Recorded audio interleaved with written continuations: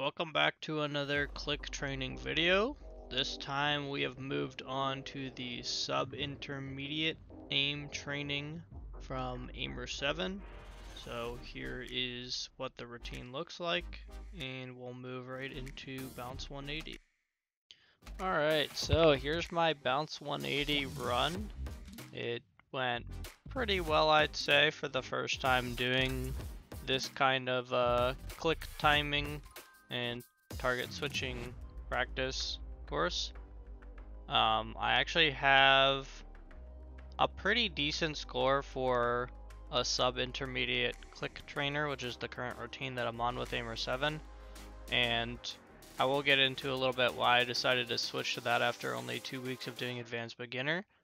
But yeah, so the score I got here is right around 62, which I did look ahead to the advanced, or I think it was intermediate uh, click training, and to get up from intermediate to advanced, there's some scores set that you have to hit, and one of the scores is getting a 70 or higher on bounce 180, and so after just one week I got up to 62, so uh, I still have a long time before that's going to be something I worry about, but just something to measure against.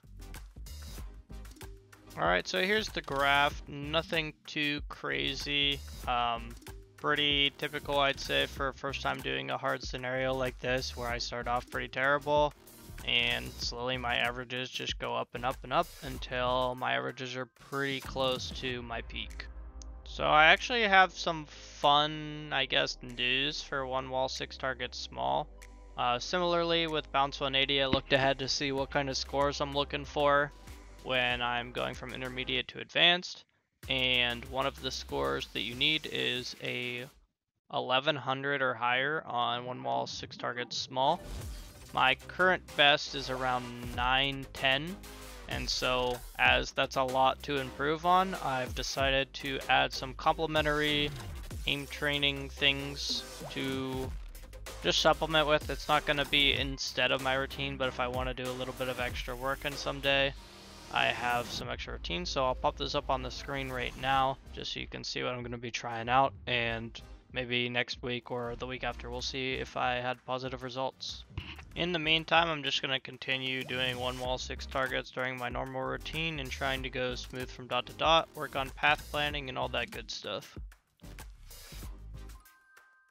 On the chart for one wall, six targets small this week, you'll notice that the averages are way higher than they've been in the previous weeks. That's because I actually tried to go for higher scores every single run instead of in previous weeks where I spent the first five runs going super slow and trying to draw super straight, uh, smooth lines between the dots.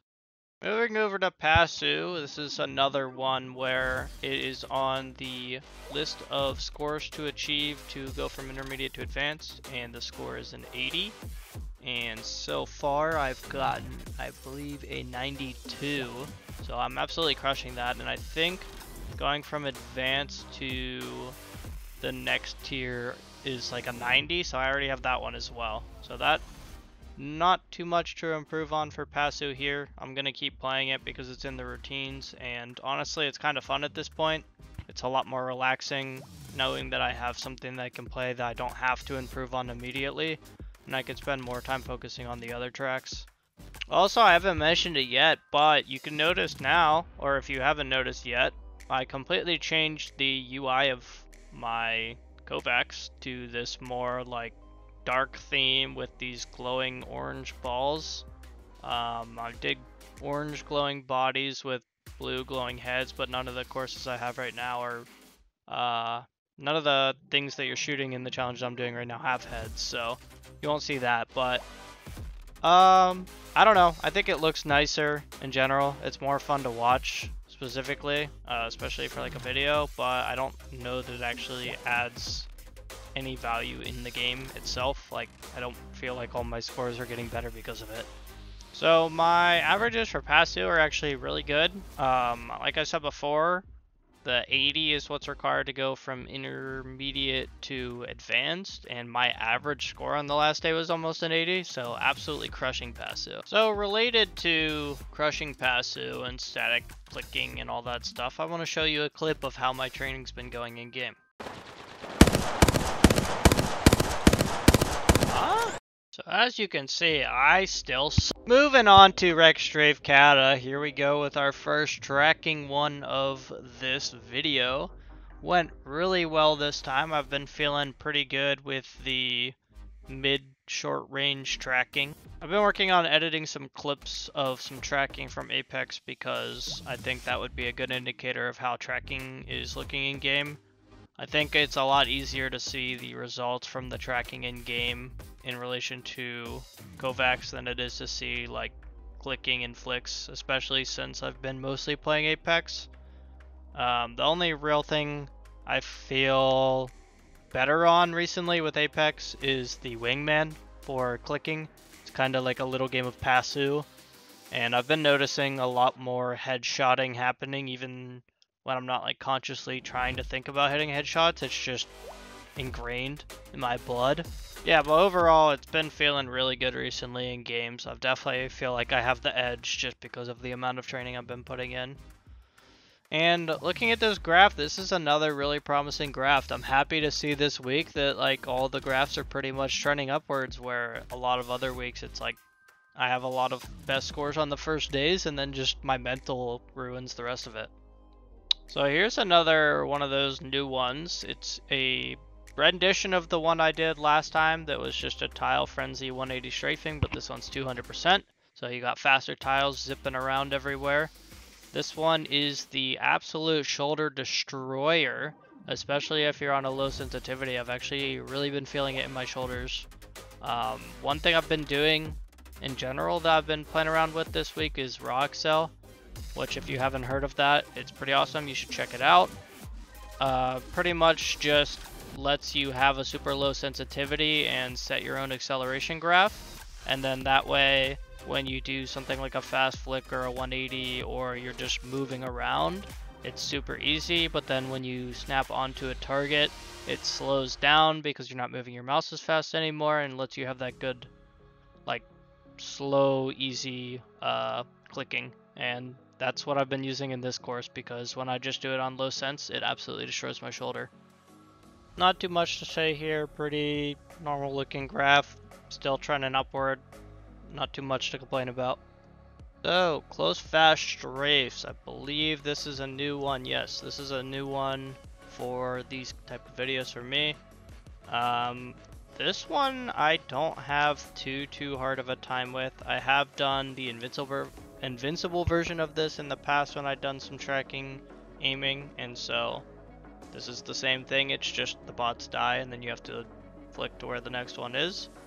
Um, I did in the next week, which you'll see in next week's video, identify another weak point of mine along with the one wall, six targets small is very close fast strafes.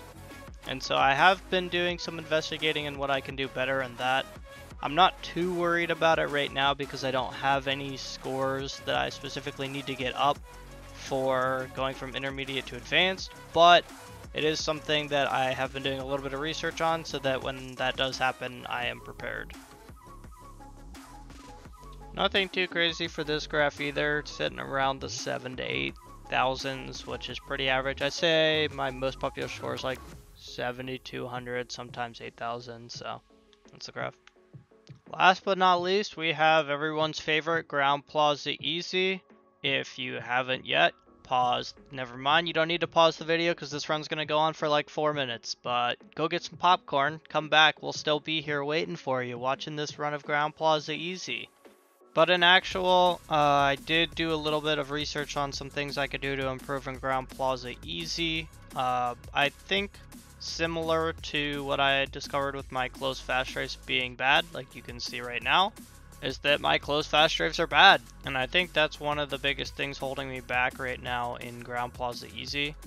In addition to this, I have Ground Plaza Easy for a lot of weeks to come, and so I've decided in the next week to increase going from one run every day to doing two runs every day. So I don't know, that might help as well. It is torturesome, I've already done it two days, but I think it's good to add a little bit of extra practice into the stuff that I'm the worst at, because it's all going to pay off in the long run. So since there's not too much left to talk about with Ground Plaza Easy, I decided I would show you some of the scores I was talking about earlier that I need to reach. If you see in the top right, these are the scores to go from intermediate to advanced. I'm still on sub-intermediate, but it's nice to know what kind of stuff I need to start working on now, so that when I get to that point, I'm doing all the better. So if you look up there, I have my current scores and the things that are on there that I've already done. I haven't done the pressure aiming one, and I haven't done close fast trace invincible recently. So my current scores that I need to work on a lot is getting my one wall six targets small from 913 up to 1100 or higher getting one wall, six targets DE from 154 to 165 or higher. My Pasu, like I said earlier, is already over by 12, so I'm good on that one. And then Bounce 180 is currently at 62, and I need to get 70 or higher, so that one shouldn't be too hard. And that's pretty much all I have to talk about. Next time I might read a bedtime story or something. I don't know, these runs take forever.